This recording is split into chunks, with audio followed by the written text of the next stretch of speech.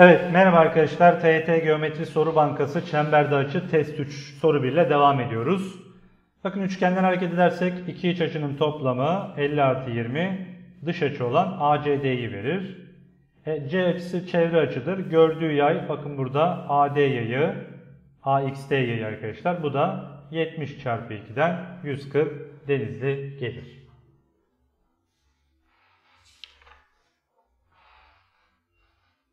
Evet. Soru 2 arkadaşlar. OC bakın O merkez OC yarıçap. OC'yi uzatırsak arkadaşlar bakın burası çap olur. Burada bir C 40 C'de 40 derecelik çevre açı var. O zaman uçlarına gidersem burası ne oluyor arkadaşlar? 40'ın 2 katından 80 olur. DC çap olduğu için çemberi 2'ye bölecek. 180'den 80'i çıkartırsak buradaki BC yayına 100 kalacak arkadaşlar. A açısına bakarsanız ölçüsü x. Bir çevre açı. Uçlarındaki yay hangisi? BC yayı arkadaşlar. 100'ü gördüğü için yarısı olacağından cevap 50 Edirne gelir.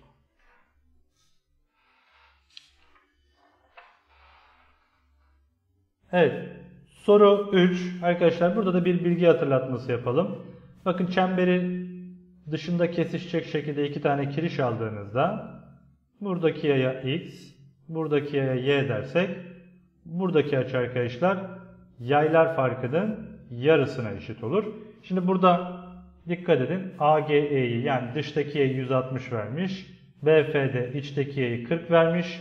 O zaman x buradan arkadaşlar 160 eksi 40 bölü 2'den 60 yani denizli gelir.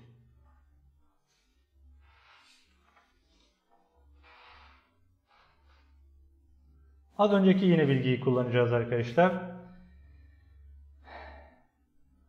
Ama tabi burada o bilgiyi kullanmadan çözelim istiyorsanız. Bakın tamamen üçgende açı bilgileriyle bu soruyu halledebiliriz.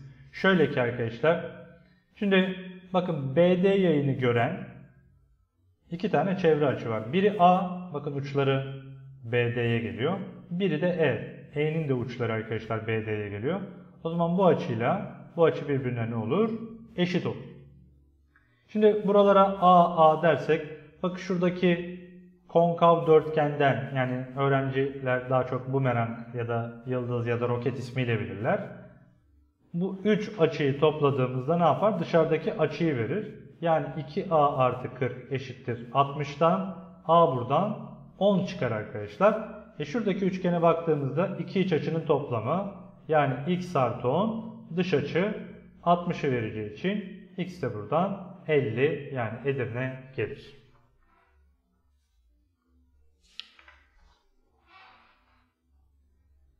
Evet soru 5 arkadaşlar. Bakın 40 derecelik çevre açı var. Uçlarına geldim. AC yayı 2 katı olacak 40'ın 80. 30 derecelik çevre açı var. Uçlarına geldim BD. Burası ne olacak? 60 olacak. Arkadaşlar bizden istediği ABP yayıyla CDT yayı arkadaşlar. E zaten tüm yay 360 dereceydi. Buradan 80 ile 60'ın toplamı 140'ı çıkarırsam cevap 220 Adana gelir.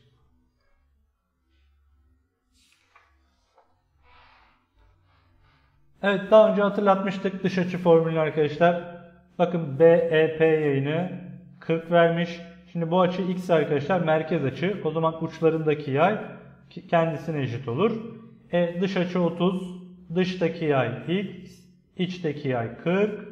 Çıkardım 2'ye böldüm. 30'a eşit olacak. X de buradan arkadaşlar 100 derece yani Bursa gelir.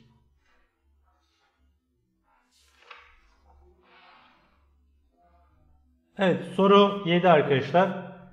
Bakın bir kiriş verilmiş. Bu kiriş yarıçapın kök 3 katıymış. Böyle sorular sorularda kirişin uçlarına yarıçap çizip özel üçgen arayın arkadaşlar. Çünkü burası da R, burası da R. Bakın R, R, R kök 3. Kök 3 katı olan ikizkenar üçgen neydi? 30 30 120 üçgeniydi. O zaman burası 120. E merkez açı 120 ise gördüğü yay da kendisine eşittir arkadaşlar. Yani cevap Ceyhan.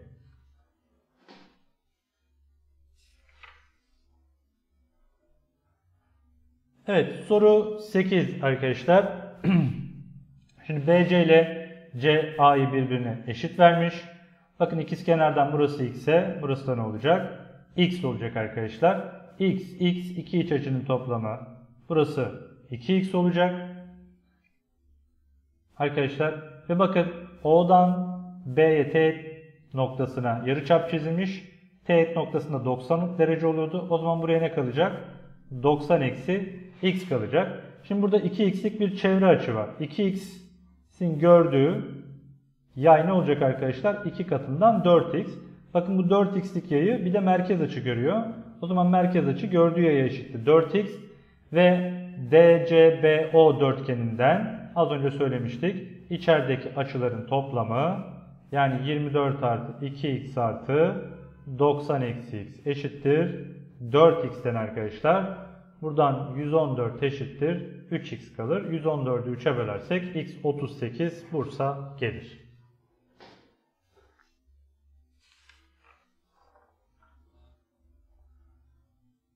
Evet arkadaşlar soru 9. Bakın bununla ilgili pratikleşelim. Birbirine teğet iki çember ve bunların her ikisine dıştan teğet olacak şekilde bir doğru verildiği zaman arkadaşlar bu teğet değme noktalarında şu şekilde gördüğümüz gibi açılar oluşturursak arkadaşlar bu açıya x, bu açıya y diyelim.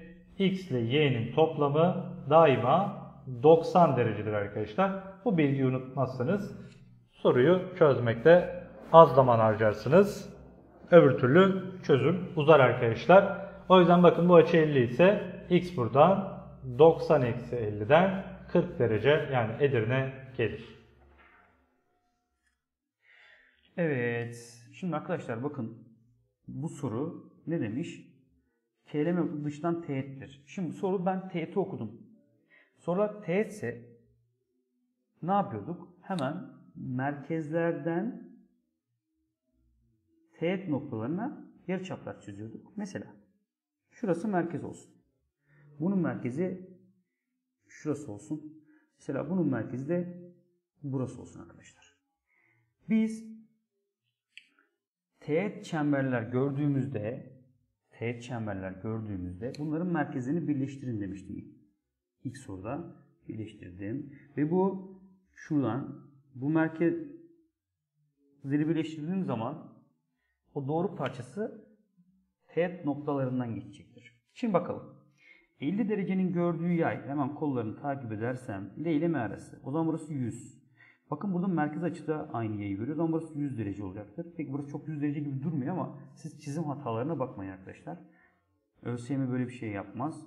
Siz bildiğiniz yoldan şaşmayın. Yapın işlemi. Açının 100 derece gibi görünüp görünmemesi sizi çok ilgilendirmiyor. Hemen 30'un baktığı yay kolları takip edersem bir kol K'ye geldi, bir kol L'ye geldi. Aradaki açı şurası 60 dereceymiş. Çevre açı olduğu için. E bu merkez açı da buraya görüyor ama burası da 60 derece olacaktır. Peki X'in gördüğü yay yani şurası K ile M arası. Şurası da 2X. O zaman burası da 2X olacaktır merkez açı. Peki şu mavi üçgende bir açı 60, bir açı 100, bir açı 2X arkadaşlar. Bunların toplamları 180 dereceymiş. Buradan 2x eşittir 160 diğer tarafa atarsam 20 x eşittir 10 olacaktır arkadaşlar. Güzel bir soruydu.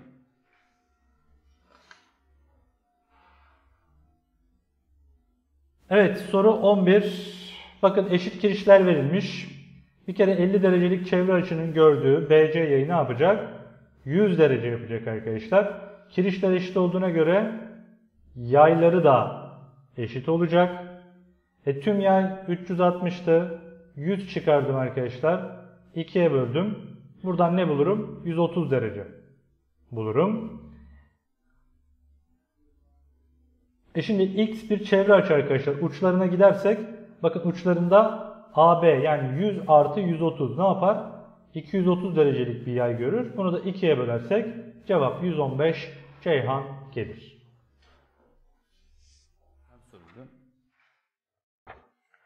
Geldik buraya. Ne demiş? ABC ve DBC birer dik üçgen demiş. Tamam. Ve buradan 90 derecede yerleştirmiş, 70'i yerleştirmiş, eşitleri yerleştirmiş, her şeyi yerleştirmiş arkadaşlar. Şimdi arkadaşlar şu bir çember. Şurası çap olsun merkez. Şuradan ben Bir çevre açı dersem bu çevre açının gördüğü yer 180 derecedir. O zaman burası 90 derece. Yani biz buna şöyle deriz. Çapı gören çevre açı dik açıdır. Çapı gören dik açı şey çapı gören çevre açı 90 derecedir. Şimdi bak burada bir 90 derece var. Bir dik üçgen var. Burada yine 90 derece var. Bir dik üçgen var. Demek ki burası çap. Ve demek ki benim çemberim buralardan geçecek. O zaman şöyle çember çizersem çemberi çok güzel çizmedim arkadaşlar. Buradan geçmesi lazımdı. O zaman burası 70 ise merkez açı. Gördüğü yay da A'ya ve D'ye gittiği için 70'tir. Peki arkadaşlar şimdi benden x istiyor. Şimdi böyle çemberin içinde çapraz çizgiler görürseniz doğrular ünlü kesen şunu biliyordum. Şu açı şu açıya eşittir. Ve bunlar karşındaki yayların toplamının yarısıydı ortadaki açı. Bakalım şimdi. Takip edelim. Bakın şurası bir uzunluk. X oluşturan uzunlukların üzerinden gittim bu. Bu uzunlukların burada 70 var. Burası kaç derece? Ve burası çap olduğuna göre burası da 180 derecedir. Peki demek ki x'i oluşturan mavi çizgileri takip ettiğimde şöyle karşılıklı 70 180 oluştu. Demek ki x 180 ile 70'in toplamının yarısıdır. Yani buradan x eşittir 250 bölü 125 olacaktır.